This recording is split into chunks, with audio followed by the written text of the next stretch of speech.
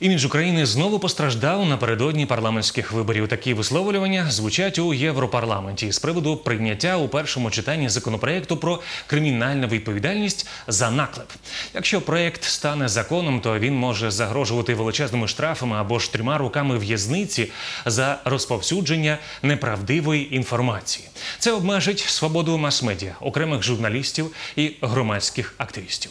У Єврокомісії закликали Київ не квапитися із запровадженням закону, особливо напередодні виборів. Зміни до кримінального кодексу у першому читанні підтримали 244 народних депутати. Якщо закон ухвалять остаточно, за наклеп доведеться заплатити суму у більш як тисячу неоподаткованих мінімумів або й сісти за грати від трьох місяців до трьох років. Така відповідальність цілком виправдана, вважає автор законопроекту. Я за те, щоб вибори були у нас прозорі, чесні. І якщо, наприклад, е, подається наклеп на якогось, умовно кажучи, кандидата, він здатен знизити його рейтинг і він може програти. У відповідь біля Верховної Ради митці продемонстрували своє трактування законопроекту. Існує такий сталий вираз укоротити язика. Надто довгі язики вкорочують. Вкорочують старим і простим способом. Величезна алегорія, тому що ми самі теж потрапляємо під, цю, під цей закон.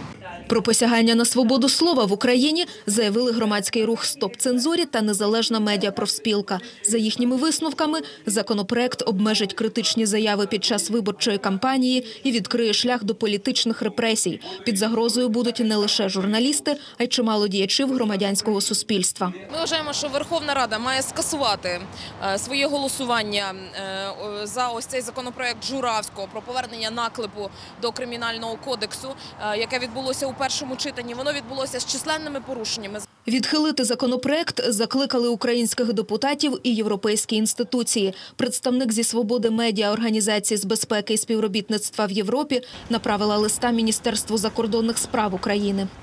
У 2001 році Україна була однією з перших країн у регіоні ОБСЄ, які скасували кримінальну відповідальність за наклеп. Із цією важливою реформою було пов'язане те, що Україна досягла репутації одного з найбільших ліберальних правових середовищ для змі в регіоні.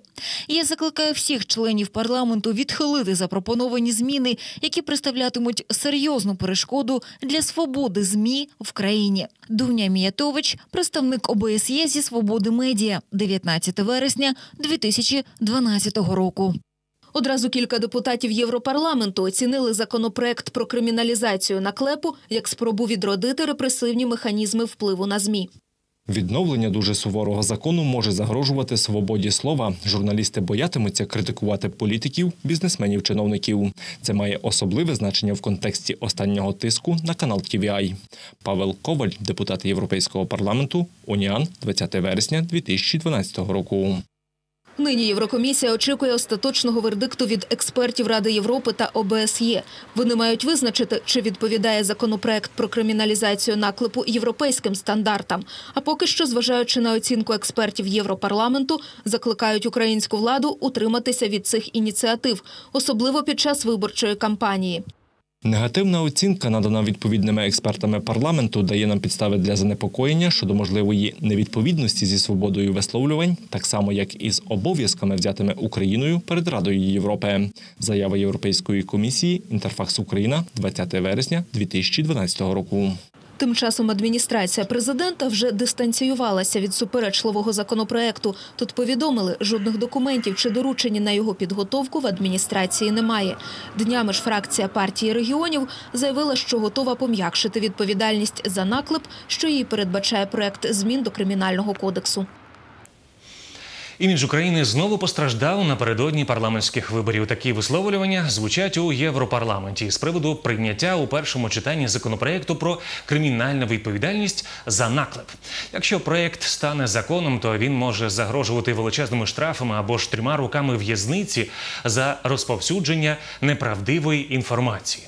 Це обмежить свободу мас-медіа, окремих журналістів і громадських активістів. У Єврокомісії закликали Київ не квапитися із запровадженням закону, особливо напередодні виборів.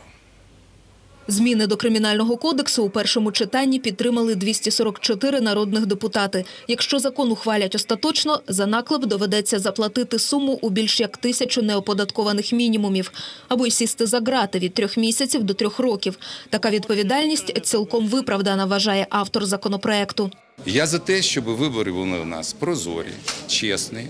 І якщо, наприклад, е, подається наклеп на якогось, умовно кажучи, кандидата, він здатен знизити його рейтинг і він може програти. У відповідь біля Верховної Ради митці продемонстрували своє трактування законопроекту. Існує такий сталий вираз укоротити язика. Надто довгі язики вкорочують. Вкорочують старим і простим способом. Величезна алегорія, тому що ми самі теж потрапляємо під, цю, під цей закон.